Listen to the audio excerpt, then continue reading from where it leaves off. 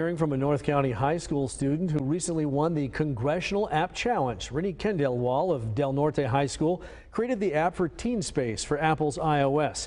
It's a trivia game that teaches safety awareness on various topics, including drug abuse, relationships, and active shooter scenarios. She was inspired to create the app when her school faced two bomb threats and an active shooter threat last year.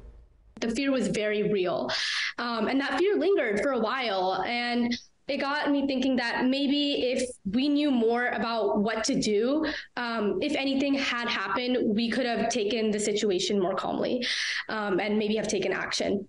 So that's why I went into making this app in the hopes of educating teenagers. The app also has good driving tips and internet safety suggestions. It'll be featured on the U.S. House of Representatives website and the Congressional App Challenge website.